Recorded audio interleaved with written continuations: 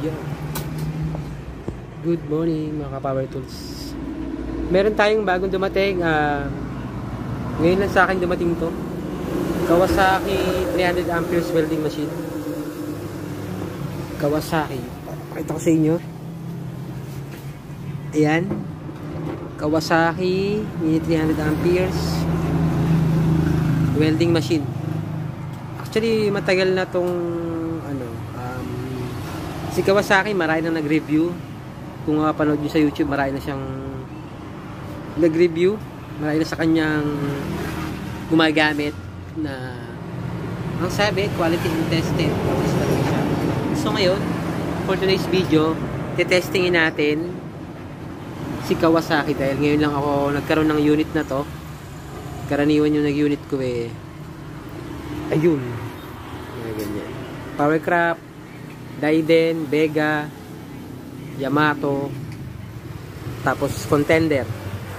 So ngayon binuksan ko na siya. Ito na. Actually si Kawasaki talaga yung naunang sumikat ng mga inverter welding machine. Um, old model pa rin siya which is hindi pa siya digital.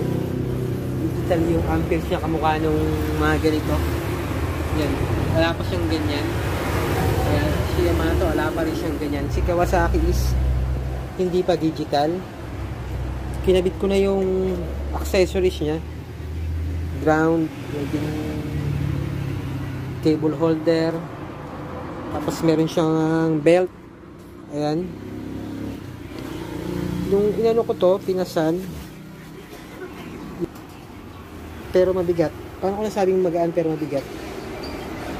magaan kumpara sa magbubuhat na lalaki pero yung bigat ng welding machine is around mga baka mga 4 to 5 kilos ganun siya kabigat. Which is solid yung bigat niya compare sa ibang sa ibang inverter welding machine mabigat siya. Tapos yung loob nasilip ko rin puro tanso yung loob. Kaya siguro sinabing quality si Kawasaki.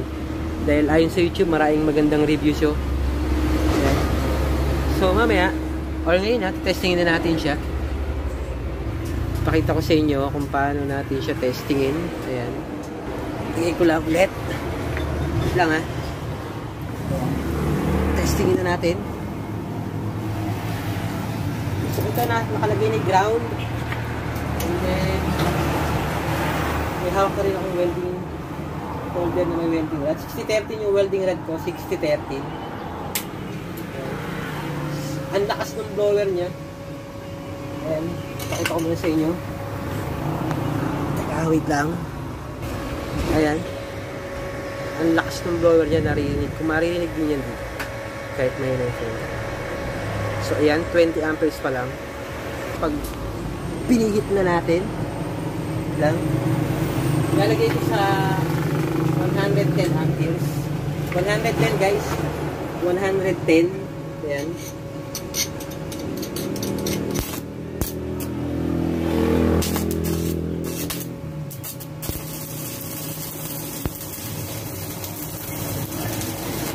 Ayan guys, 110 amperes. Testing na namin. Sinagad ko siya sa 300. Sobrang lakas niya.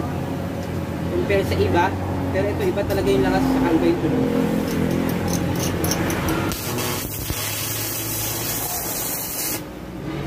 Yan, 300 amperes mo. 300 amperes. Ganun siya kalakas. 300 amperes yun. 300 amperes. Sinagad ko siya sa 300. Ang lakas niya. Ito ulit. Diba halos di makita. 300 amperes yun. So, in my um, personal opinion, malakas to. And then, I think quality. Kaya sa YouTube, marami naging review nito, naging review. Tapos maganda yung review niya sa YouTube. And then, yung mga customer, yung feedback nila, is maganda naman. Yeah. So, yun lang guys.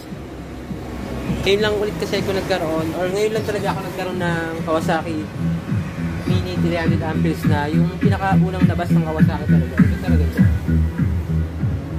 kaya nag gawa rin ako ng review para sa akin para ma-testing ko rin kung gaano talaga siya kalakas. Ayan. So ayan guys.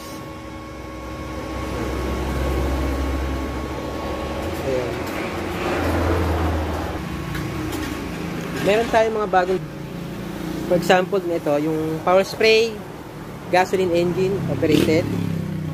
Um, Nito gasoline engine Quest Pro air compressor meron din tayo.